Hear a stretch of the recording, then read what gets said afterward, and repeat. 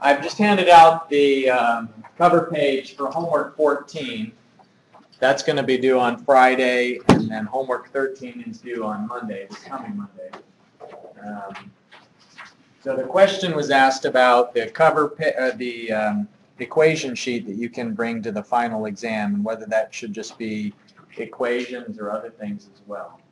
And um, I guess it's okay for it to be whatever you like. You can put anything you'd like on the front and back of a single letter-sized paper. Any other questions? What if it's not an equation? It's just equations, right? You can put anything you like on. Anything like an example problem? Yeah, that You can put example problems, letter from your grandma, anything. pictures of uh, a Peanut butter Ferrari. jelly scenes.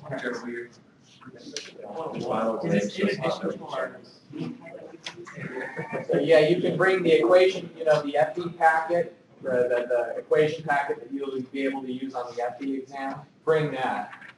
And this equation sheet is in addition to that, because the FE equation packet doesn't have any of the numerical integration method equations. It doesn't have any of the equations you need for, um, it may have the Belanger momentum equation, but there are several equations that we've used this semester that aren't on there. Will we need a laptop for it? Yes. Definitely. All right. Well, uh, we're going to continue talking about the standard step method today, and you've already at least set up the structure of a spreadsheet for the standard step method. But I'd like us to get a little bit more practice. We'll probably spend about 20 minutes talking about uh, this next example problem, and then we're going to change gears a little bit and talk about a hydraulic structure that's known as a Parshall flume. Uh, any other questions related to these announcements? Now, just to review, the standard step method, rather than being a balance of specific energy, the standard step method is a balance of total energy. And so when we were comparing section one and section two, we were calculating the elevation above some vertical datum to the water surface. And so we called those WS1 and WS2. And the other big reminder here for the standard step method is that 1 and 2 don't mean the same thing that they always have, where we would always assume location 1 was upstream and location 2 is downstream. In the format of this uh, solution approach and the spreadsheet that was shown previously, location 1 is where you know something and location 2 is the unknown. And so what we're trying to find is some depth at location 2 that's going to give us an equality between the observed head loss and the calculated head loss. So with that very brief review in mind and the spreadsheet template that you developed last time, I'd like us to take a look at a location where we have a circular channel cross-section downstream. So the location one where we know things, we know that it's a half circle and that the depth downstream is 1.5 meters. Upstream, the section two, it is somehow transitioned gradually from the half circle to a triangle. And uh, at that upstream section, we don't know the depth. Um, you know the length between them, and what I'm just now recognizing is that I need to also tell you the channel slope between them. The channel slope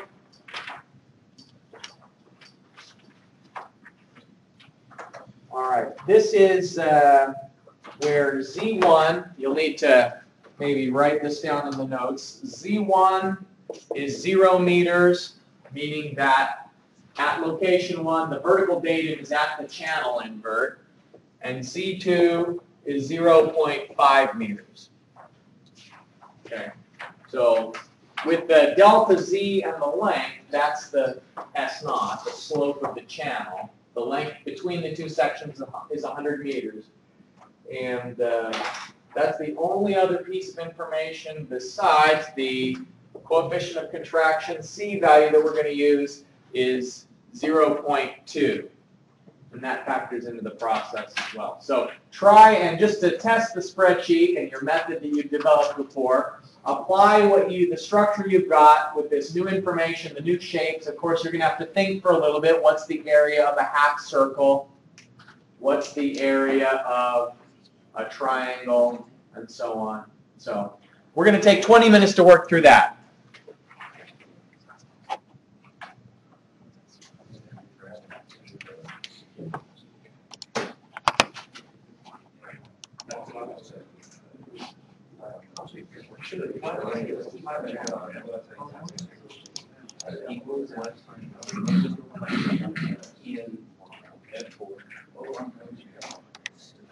So we'll start with the stuff that we know at the uh, section one. Since it's a half circle, of course, the area is just going to be pi d squared divided by 2. Velocity is the flow rate divided by the area. Wetted perimeter is the uh, pi times the radius, which is the depth at that point. Hydraulic radius is the area divided by the wetted perimeter. Energy equation, remember since our last one was in terms of traditional units, G goes from 32.2 and now in this example we're using SI units and so we have to change G to 9.81. So we get the slope of the energy grade line at location 1 and it doesn't change regardless of how many iterations we do for section 2. All of this information stays known at section 1. By the way, uh, here in this example that we're working, we have an M1 profile because the critical depth is 0.65, the normal depth is 0.98. That tells us it's a mild slope. And at location 1, the depth is 1.5. And so that means that uh, it's a mild slope and the depth in the known section is in zone 1. It's greater than the normal depth. So M1 profile means that upstream we're going to expect the depth to be shallower. That's the definition of an M1 profile. So when we get into the calculations for uh, the unknown section, you'll see I started with a depth of 1.5. There's nothing magical about that. I could have started with my depth of equal to 3, and it's still going to eventually converge at this 1.26 as the final answer.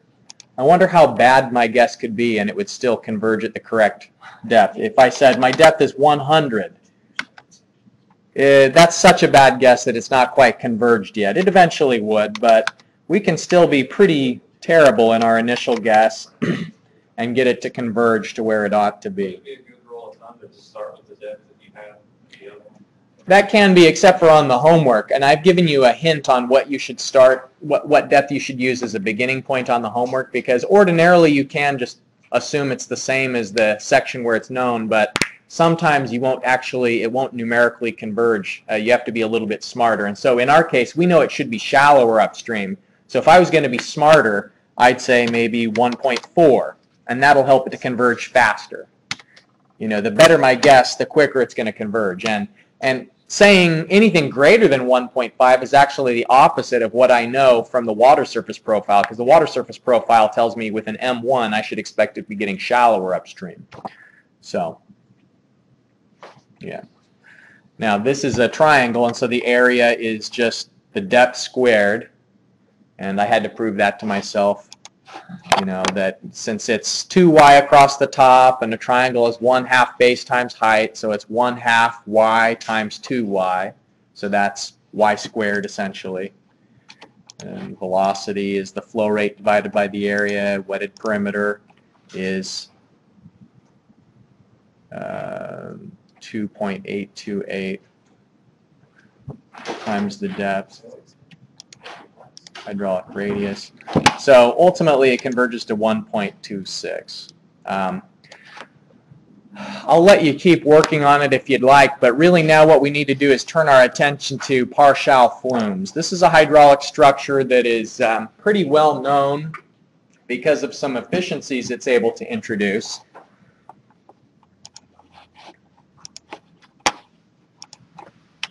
Um, remember that one of our criticisms of a broad-crested weir was that a broad-crested weir is great for measuring flow rates, but its weakness is that that upstream face of the broad-crested weir tends to accumulate sediment or trash or debris so that um,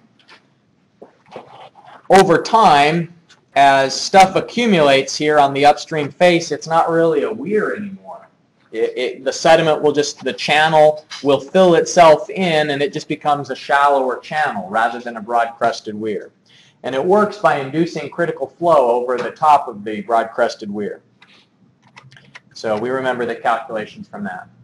Um, a weir, just in general, is used to quantify flow rather than to control flow. And uh, the broad-crested weir introduces a contraction at the bottom of the channel. Well, a uh, Parshall flume, a Parshall flume is a kind of a type of a flume. What it will do is it reduces the cross-sectional area so that it's a choke that's going to force critical flow. But instead of only contracting the bottom of the channel, there's also a contraction in the width of the channel. And that difference helps to avoid sediment and it reduces head loss. And so a flume uh, is a more gradual transition in the vertical change instead of being a sudden step like this broad-crested weir and that sharp edge on the front face of it is what accumulates sediment. Instead of having a, a vertical upstream face, the uh, Parshall flume that we're going to learn a little bit about today has a, uh, a more gradual change in elevation and a gradual choking of the width that induces the critical flow. And so here is an isometric view of a Parshall flume. And you'll notice that the depth is measured in two locations. The water depth is going to be measured in the, uh, as the water approaches the Parshall flume, it goes through this uh, transition where the channel narrows in the approach and the water depth is measured and then there is a vertical change in elevation that helps to induce critical flow. And then in this throat section, the depth is measured again, and then the water exits the Parshall flume. And so we'll be measuring a Parshall flume's depth, the depth of flow in two sections, in the converging section and in the throat section. And the, the height of the water in these two, two locations, location A and location B, is used along with the formula that we have and some nomographs that characterize the energy loss and the flow rate as a function of depth. This is a way of quantifying the flow rate, and you don't lose as much energy through the Parshall flume as you do at the broad-crested weir, and then you also avoid the sedimentation. And so these are used a lot out in uh, farming and ranching uh, applications for measuring the flow rate when uh, someone's trying to irrigate and they need a really low-tech way of measuring what flow rate is being drawn off of an irrigation canal. Secondly, Mm-hmm. so are those like compound flooding issues, if you try to do it like on a river or something like that, You mean a broad-crested weir? or that, No, I I don't think that a Parshall flume will compound flooding. What, what do you mean? so it, it's gonna have to choke the flow a little bit, uh, to, to get up to the, the right head. Wouldn't that, if you had a really big storm and a lot of runoff, wouldn't that make it easier to flood? Well, it doesn't choke the flow upstream of the weir. I'm sorry, upstream of the flume. It chokes it in the flume itself. And so um, the hope is that it, it doesn't uh, cause any any sort of disturbance or non-uniformity in any location except for in the in the zone of the flume itself. Now, certainly, if there's a lot of flow and you're sending more water through the flume than it's designed for, then yeah, it's definitely going to act as a choke. But if we go to this cross-sectional view, what you'll notice is that um, this drop here, this change of elevation is enough to help convey the water through the flume without it um, causing un- non-uniformity upstream.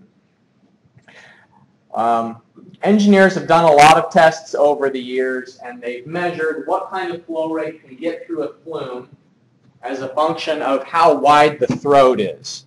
And so there are these standard throat widths, and there are equations that say for a certain throat width, what sort of depths are going to be expected based on the flow rate that goes through the flume. And so these are just empirical equations here. There's not really anything fundamental about them. They're just equations that have been built based on observation. And um, you can quantify what the flow rate is by measuring the depth in the converging section. you'll notice that all these equations are just using H sub A. Now the reason why we measure the depth of the water in the throat as well is that sometimes if the water depth is too big in the throat, then it can submerge the hydraulic jump that's supposed to form. Inside of the throat, uh, a hydraulic jump will occur, um, and uh, if the if the tail water depth is too high and it submerges that hydraulic jump, then that'll reduce the capacity of the flume. And so we'll do a check to see whether or not the hydraulic jump is submerged. And if it is, we have to adjust these equations for the flow rate. And so there's free flow through the flume, and then there is um, a submerged flow where the hydraulic jump is submerged. And so here's the calculation approach that we'll go through is um, we'll check to see if the downstream depth, H sub B, uh, H sub B, relative to the throat depth exceeds the submergence criteria. And so for a different throat width, like if the, uh, the throat of the flume is 30 centimeters wide, and if the downstream depth, H sub B, is more than 70% of the upstream depth in the converging section, then that tells you that it is uh, a, a submerged hydraulic jump and that some correction factor has to be applied because the submergence of the hydraulic jump is going to slow down how quickly water can get through that flume. And if you do have to apply a correction, then what you'll do is you'll refer to a chart such as this, and uh, you'll look to find what percent submergence you have and the upper head that was measured in the throat, I'm sorry, in the converging section, and you'll go down and find the uh, correction that has to be applied. And this particular figure is for a throat width of 0.3 meters. And there would be a different figure for any throat width. And uh, Parshall flume manufacturers have different tables for all of their different uh, Parshall flumes that they uh, precast, or there can be fiberglass or plastic Parshall flumes. And a farmer would maybe move a flume from field to field, and they can be made to be very light, set it down into a channel, and then direct the water to go through there, and it, the, the flow rate can be quantified. Um, this is a correction factor if you have a throat width other than 0.3 meters. Like if you didn't have a chart specifically for the width that you're using, if you had uh, a throat width of 0.91 meters, then you could still use this chart, which is 4.3 meters, but then you'd have to apply a multiplier. This correction factor would allow you to use the correction chart from some other throat width. And I'll illustrate that in an example here in a little bit. Um, let's say, for example, that we have a Parshall flume with a throat width of 0.3 meters. And in the converging section, meaning H sub A, here as the water is starting to, uh, the channel is getting narrower, one third of the way into the converging section, they measure the depth, and the depth there is 45 centimeters. And then in the throat of the flume, the depth is measured, and the water depth is 39 centimeters. So the question is, is the hydraulic jump submerged? We first have to check to see whether or not any correction factor is required. And for the 0.3 meter throat width, the equation we're going to use here for a 0.3 meter throat width, this is the equation. It's a function of the width of the throat, the depth in the converging section, the width again. This is the base equation that we'd use, and if the jump is submerged, then we have to apply the correction factors as well. Okay, so uh, for this Parshall flume, we have a uh,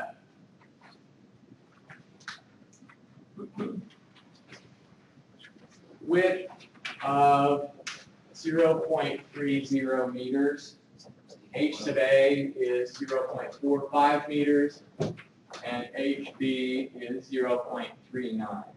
Okay, the first thing to do is check the submergence. And so HB relative to HA, 0.39 to 0.45. Well, that is 0.867. And the limit for this, the cutoff point would be 0.7. So we're more than 0.7. The, our ratio is above 0.7, and so that means that actually the hydraulic jump is submerged. So 0.86 is greater than 0.7, so the hydraulic jump is submerged. So correction factor must be applied.